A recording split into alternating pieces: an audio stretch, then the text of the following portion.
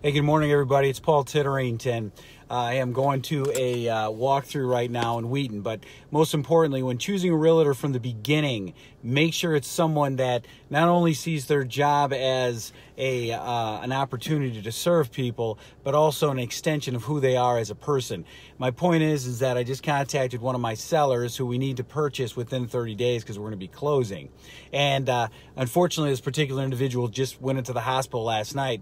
So I mentioned to her, I said, "Hey, you know what? We got an offer ready to go. Let's go ahead and get that signed, and I'll go ahead and take care of everything else. So I submit the offer to the real estate agent, get the home inspection all done. We can do FaceTime, we can do everything. Technology is so important.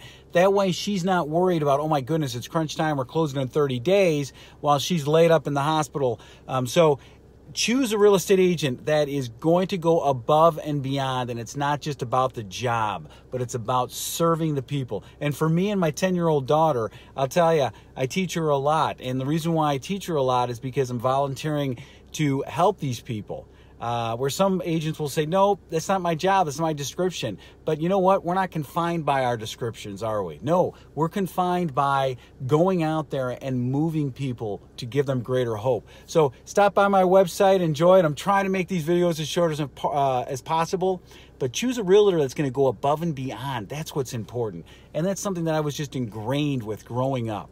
Have a blessed day. Visit my Facebook website. You can search the MLS on my website. You can do it all. Thanks again. Have a great day and God bless.